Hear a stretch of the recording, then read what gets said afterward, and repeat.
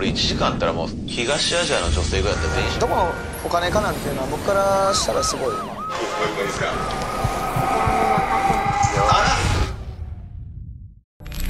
你的印象里，日本男公关是什么形象？是光鲜亮丽，还是神秘猎奇？是三句话让女人为我花一百万，还是日本第一男公关罗兰？他们华丽的外表下究竟隐藏着怎样的真相？大家好，今天我们不吃瓜来聊件可怕的事。事件起因是由 UP 主做了期科普视频，大家有空可以一步观看。反正我看完后整个人都不好了。想起看过的一些影视，再结合我查到的资料，这位 UP 说的的确不假。总的来说，他撕下了这些男公关的真面目。此前，日本男公关俗称牛郎，是一种有意被神秘化的群体。我也被他们的包装和话术唬住过，竟然没有发现他们通过文化障碍和信息差制造了种种假象，比如卖艺不卖身。他们对外反复强调只喝酒聊天不陪睡是一种正规文化，但实际上他们会用内部黑话来分类描述睡过的客人。他们还把自己包装成对女性友好的形象，号称是女士优先主义，甚至把自己和女性的幸福深度绑定。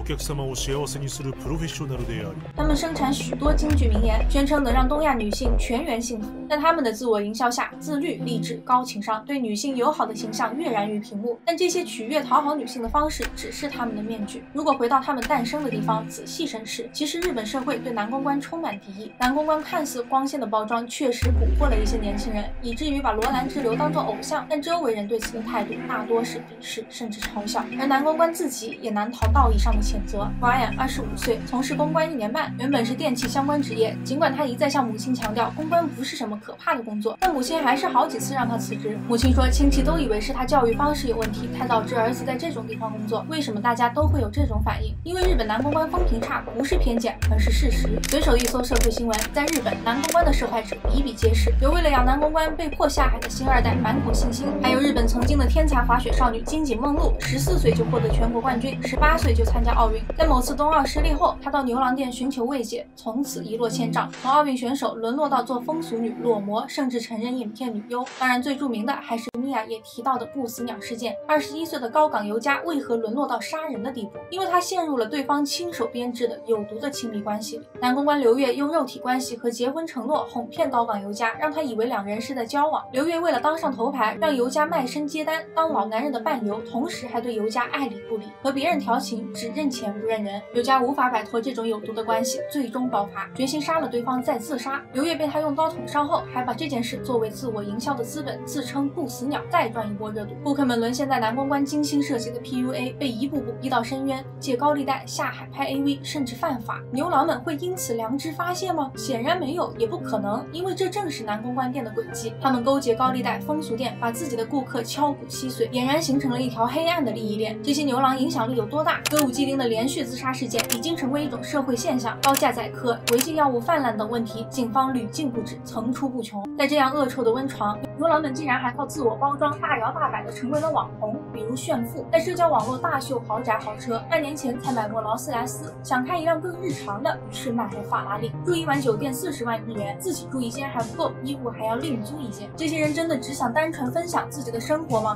不，他们早就瞄准了广阔的中国市场。他们在社交媒体上美其名曰想增加中国那边的粉丝。でももうちょっと 増やしたいですね。増やしたい中国のファンの方に、はい、知ってもらいたい。或许会有人认为展示自己财富的实力和成功人士的魅力并没有什么不可以，但他们展示的显然已经远远不是财富，而是一种畸形的生财之道。他们一边在网络上营销出被仰望的模样，一边游走在违法失德的钢索上。殊不知，他们引以为傲的奢侈建立在多少不谙世事的女性血泪之上。男公关们是怎么挖掘陷阱的？哎，别说，和娱乐圈一些偶像倒是有异曲同工之处。简而概之，偶像养成。 他们用甜言蜜语取悦女性顾客，把他们培养成属于自己的饭圈粉丝，把他们当取款机，量身定做各种消费陷阱，还声称这只是精神上的他们拼命研究顾客的心理，揣摩每一个可能讨好顾客的方式。调酒时，顺时针和逆时针转勺有什么不同？顺时针会让人感觉焦急、没有耐心，逆时针则会给人想跟你一直喝下去的感觉。他们百般投其所好，为的是让女顾客更加死心塌地，把他们的付出和牛郎在店里的地位和事业深度绑定。女顾客为什么愿意烧钱？因为。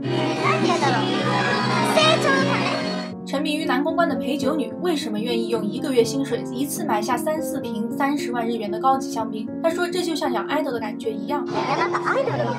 男公关们把自己当成商品，越自我提升就越多女性会指明。表面上他们在乎的是顾客，实际在乎的只有自己和女性愿意为自己付出的价码。男公关们把客人开的一瓶瓶高级酒当做谈资，雀跃地品尝着金钱的味道，计算着自己的营业额。每当客人下单高级酒水，他们都会大声喊出酒的名字，并且欢呼。他们还还利用种种细节对内拜高踩低。上一个月业绩五十万日元以下的公关，要在闭店后跪着扫除；业绩前几名的男公关则被吹捧和肯定。狼性文化背后，没有人追问他们是如何获得这些成就的。他们对顾客付出的沉重代价选择性忽视，但只是单纯的支持我。钱是从何而来，对我来说无所谓。要知道，他们的客人除了挥金如土的富婆，大多数还是普通年轻女性。有的是为了省钱搭五小时夜班车的女大学生，店里一杯茶就是她一个月的生活费。案情丑到军中的普通女服务员，女客人被迅速拖进消费的桌台，只能花二十万日元，不够，必须诱导她花三倍以上的价格才能实现自己的逆袭。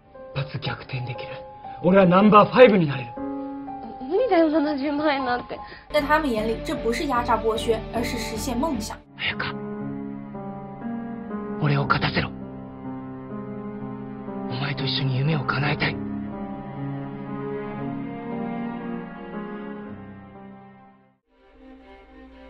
反对男公关文化时，我们究竟在反对什么？这就需要搞清楚男公关文化的本质。他们看似是女性消费男色的产物，女性好像终于可以通过买买买来提高自己的地位。但男公关文化所揭露的，恰恰是以讨好女性为名，实际极度厌女的文化。他们不仅物化自己，更物化女性，让女性以为自己获得了爱，行使了消费权利，获得了某种自由。事实却截然相反。戴锦华老师就曾给过我们一种启示：原本资本就不是性别本质主义者，自由和权利也不是用钱能买。到的男公关们鼓动着女性顾客的消费狂热，但他们真正关心女性的生存处境和想法吗？不，他们只想让女顾客为自己的魅力花更多钱。要知道，决定这个行业的本质的不是它的表层形式，而是它的底线。为什么我要坚决抵制男公关文化？因为这件事背后有个细节让我感到不安。在互联网 diss 男公关文化的热潮里，时不时会涌现一种声音：男公关美化百分之三十后，不就是饭圈？消费女性幻想，男团即视感。我们在批判男公关敲骨吸髓的同时，自己是是否也在消费主义的洪流中堕入了别人精心设计的陷阱？戴锦华谈女性和消费时提到过这种现象：一支单曲靠电子付费就能收入过亿，这不仅仅是一种消费的狂热，而是一种结构的失衡。